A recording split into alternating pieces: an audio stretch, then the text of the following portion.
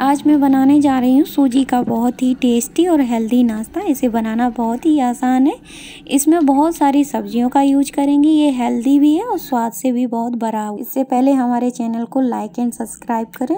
Like और subscribe ज़रूर करें फ्रेंड्स एक कटोरी सूजी लिए। सूजी बहुत ज़्यादा फाइन नहीं होनी चाहिए। मैंने सूजी को ट्रांसफ़र करने के लिए बाउल लिया है। बाउल में मैंने सूजी ट्रांसफ़र कर ली है। सू जितनी मैंने सूजी ली है उसकी आधी मैंने इसमें दही डाली है। दही हमारा बहुत खट्टा था इसलिए मैंने इसमें थोड़ा सा कम डाला है।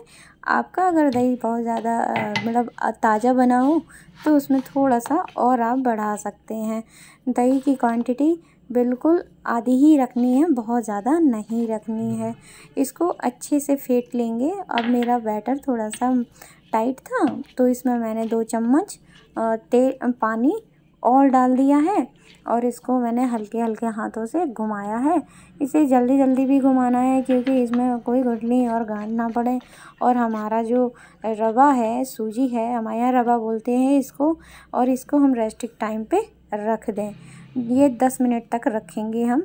तब तक हम आपको बताएँ कि मैंने अदरक ली है और एक इनो का पैकेट लिया है।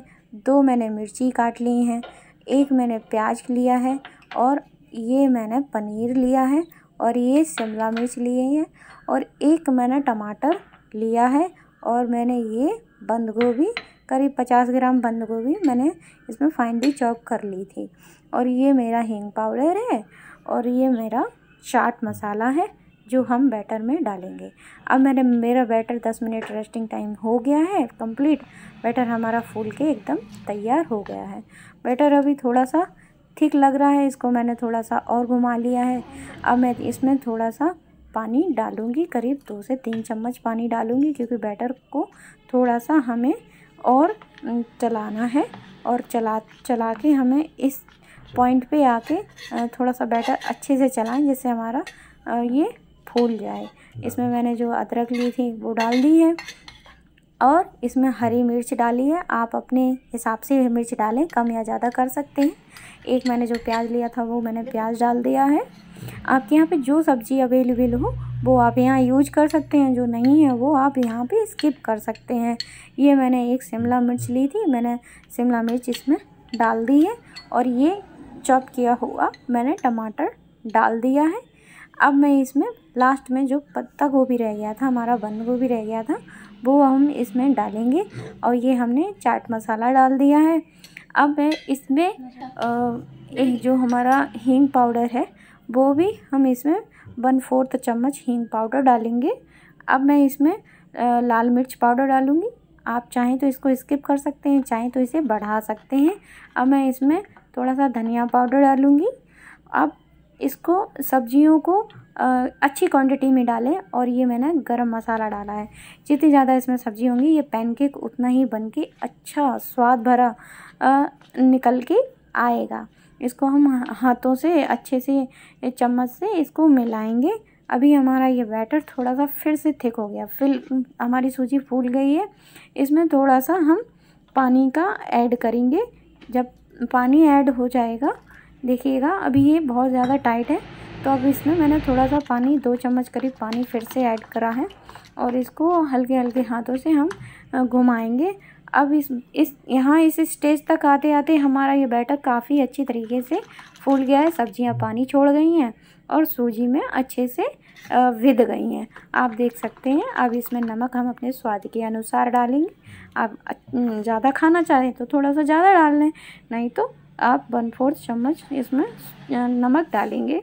लास्ट में हमने इसमें इनो डाला है। इनो को थोड़ा सा क्रियाशील करने के लिए इसमें मैंने एक चम्मच पानी डाला है। और ये इनो, जब पानी डालेंगे तो एकदम एक्टिवेट हो जाता है और एक्टिवेट करने के लिए इसमें हमने पानी डाल दिया था।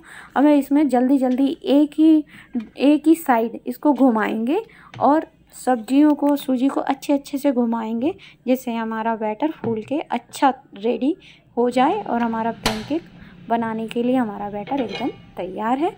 अब मैं तवा रखा है और आँच को लो मीडियम पे मीडियम पे फ्लेम पे रखेंगे। इसमें मैंने एक तव, अपना तवा रखा है। इस तवा को मैंने एक चम्मच तेल में आ, तेल डाला है और इसको इस तवा पे स्प्रेड कर लिया है। जब इसकी आ, मैं देख रही हूँ कि इसकी आँच सही है मेरा तेल जो गर्म हो चुका है तो अब मैं इसमें चीला, इसको हम तीन तरीके से आपको बना के दिखाएँगे। एक चीला, एक पैनकेक और एक जो बच्चों के लिए छोटे छोटे पैनकेक होते हैं, वो बना के दिखाएँगे। तो अब ये मैं चीला बनाने की प्रोसेस में, चीला और पैनकेक में थोड़ा सा फ़र्क होता है, आप ध्यान से देखिएगा। चीला हमारा थोड़ा पतला होगा और पैनकेक हमारा थोड़ा मोटा। और बच्चों वाले जो पैनकेक होते हैं, वो हम छोटे छोटे करते हैं, जिससे बच्चे हमारे अट्रैक्टिव होके खा लेंगे। तो अब ये मेरा पैनकेक अब इसको हम पाँच मिनट रखेंगे। अब मैंने ये देखिए, अब सूजी बिल्कुल सूख गई है ऊपर से। अब इस पर थोड़ा सा पनीर के क्यूब्स काट के डाल रही हूँ। आप चाहें तो कद्दूकस करके भी डाल सकते हैं और मैं ये अपनी करछी से इसको दबा रही हूँ, जिसमें ये सूजी के अंदर चले जाए। और ये हमारा देखिए जो चीला है, वो एकदम निकल रहा है तवे से। और मैं इसको अब पलटूँगी। करीब पलटने पे देखिए कितना अच्छा कलर आया, एकदम गोल्डन ब्राउन कलर आया। हमें इसी स्टेज पर पकाना है।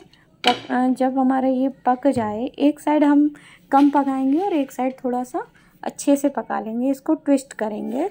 और ये करीब पाँच मिनट में हमारा चीला बन के ये तैयार हो गया है। इसी प्रोसेस से अब ये, इसको आप हरी चटनी के साथ सर्व कर सकते हैं सॉस के साथ कर सकते हैं, यहाँ तक दही के साथ भी कर सकते हैं, क्योंकि हेल्दी नाश्ता है। ऐसे ही हम दूसरा बना के दिखाएँगे। ये हमारा पैनकेक होगा। इसमें हम थोड़ा सा बैटर ज़्यादा डालेंगे और बैटर को बहुत ज़्यादा स्प्रिट नहीं करेंगे। हल्के हल्के हाथों से वहीं पे फैलाएँगे, जिससे हमारा ये पैनकेक बनके तैयार होगा और बहुत ही ज़्यादा सॉफ्ट लगेगा।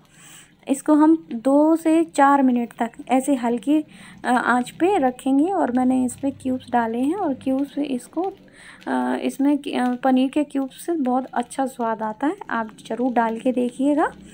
अब ये मैंने दो से चार मिनट के लिए इसको मैंने पकाया है। हल्की आँच पे पकाना है, ये हमेशा याद रखें, क्योंकि नीचे से ये नहीं तो जल जाएगा। अब जब इसमें, जब थोड़ा सा ये, हमारा सूजी का बैटर अच्छे से सूख गया है ऊपर से, देखिएगा, तब मैं इसको थोड़ा सा ऑयल डालूँगी। और अब मैं इसको चाकू की मदद से देखूँगी कि हमारी सूजी अभी पूरी तरीके से फूली नहीं है। अब मैं इसमें जब सूजी हमारी फूल चुकी है बन चुका हमारा पैन के तो अब हम इसको टेस्ट करके पलट देंगे। जब ये पलट जाएगा तो हल्के हल्के हाथों से इसको प्रेस करके कड़छी से प्रेस करके इसको सेक लेंगे जिससे उधर से भी हमारी सूजी कच्ची ना रह जाए और हमारा ये पैनकेक देखने में भी अच्छा लगे। जब ये गोल्डन ब्राउन कलर इसमें आ जाएगा, देखिए ये कितना फूल रहा है। मैंने ये चाकू से लगा के देखा है। देखिए, इसमें बिल्कुल साफ़ चाकू निकल के आया है। इसमें कोई सूजी नहीं लगी है। सूजी नहीं लगी है तो हमारा पैनकेक बन के तैयार हो गया है। अब मैं इसको भी प्लेटिंग करने की प्रोसेस में आती हूँ।